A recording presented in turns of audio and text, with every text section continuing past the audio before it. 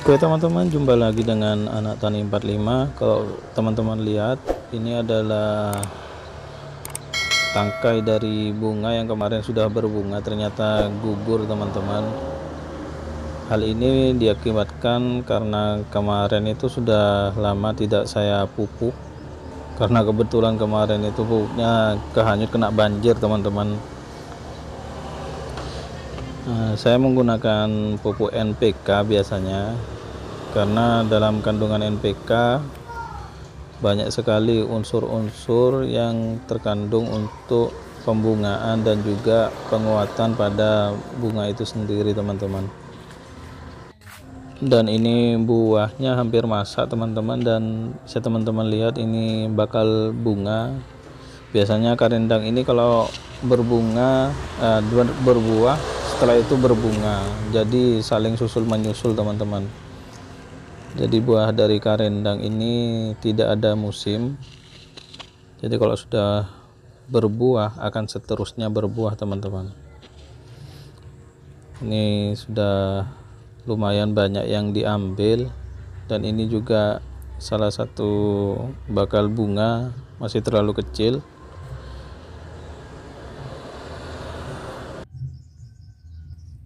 tanaman karendang ini sangat menarik sekali teman-teman. Jadi kalau ada di dalam pot dengan buah merah merona seperti ini tampilannya sangat bagus sekali. Dan untuk perawatannya untuk semua tanaman buah itu harus sering-sering melakukan pruning teman-teman. Biar pertumbuhannya itu bisa kita kontrol dan juga lebih rapi.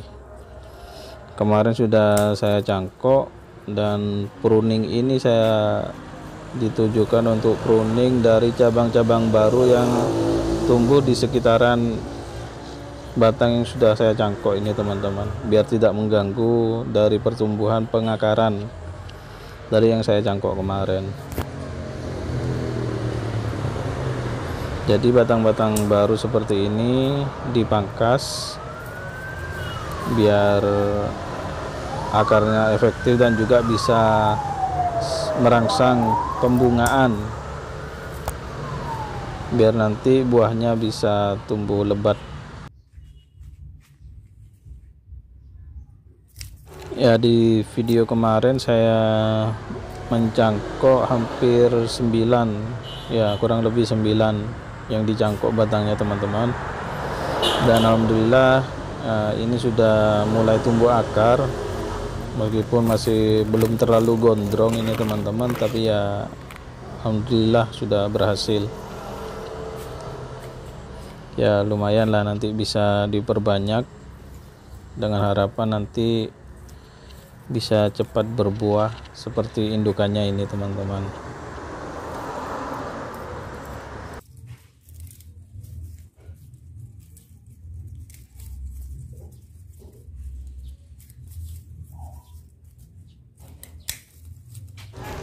dan untuk pemupukan teman-teman saya kadang menggunakan pupuk organik POC yang saya bikin sendiri. Dan saat ini saya menggunakan pupuk NPK 16 teman-teman.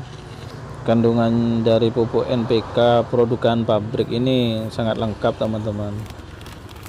Jadi ya keuntungannya kita bisa mengontrol kebutuhan unsur hara yang dibutuhkan oleh tanaman kita untuk takarannya biasanya saya menggunakan NPK ini setengah sendok saja untuk di pot ini teman-teman. Karena ya ini berdasarkan pengalaman saya saja. Soalnya kalau NPK ini kalau terlalu banyak nanti bisa berakibat fatal pada tanaman kita teman-teman. Bisa daunnya nanti mengering dan juga berakibat kalau fatal bisa sampai mati dan ini bibit karendang yang saya semai dari biji. Saya cukup menggunakan dua butir saja tiap potnya. Ini usianya kurang lebih sudah ada yang satu bulan dan ada yang dua bulan ini teman.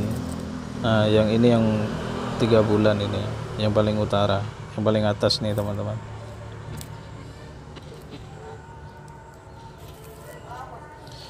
Dan untuk pupuk NPK 16 ini sangat tinggi sekali mengandung kalium teman-teman.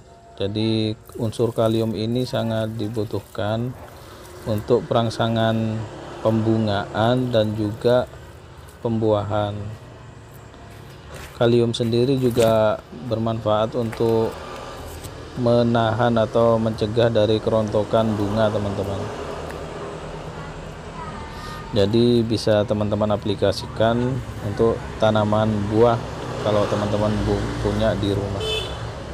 Kalau saya sendiri biasanya saya seling teman-teman. Jadi kalau sudah NPK nanti dua minggu lagi akan saya kasih pupuk organik cair yang sudah saya buat. Ini ya biar sama-sama seimbang aja teman-teman. Dan dari pengalaman saya menggunakan dua pupuk ini ya hasilnya ya maksimal di selang-seling seperti itu ya terima kasih teman-teman sudah menonton. Semoga aja bermanfaat. Salam anak tani